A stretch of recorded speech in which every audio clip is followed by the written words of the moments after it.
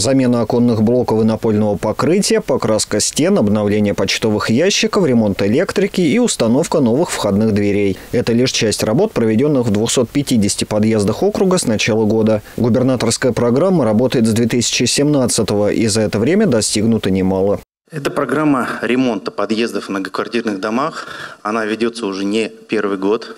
С 2017 года по 2023 год у нас на территории округа отремонтировано 3348 подъездов.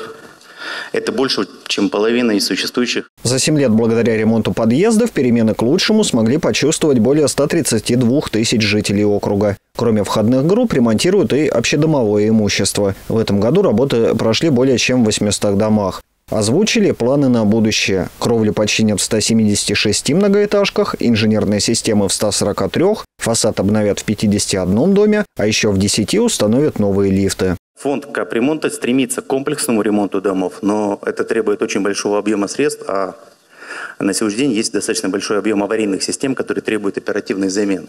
В Кубинке 10 запланировано утепление фасадов.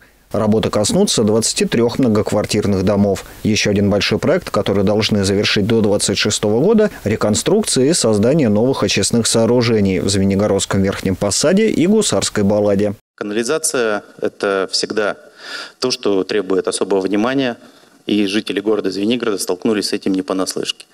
После проведенных оперативных мероприятий по устранению запаха от существующих сооружений было начато параллельно проектирование.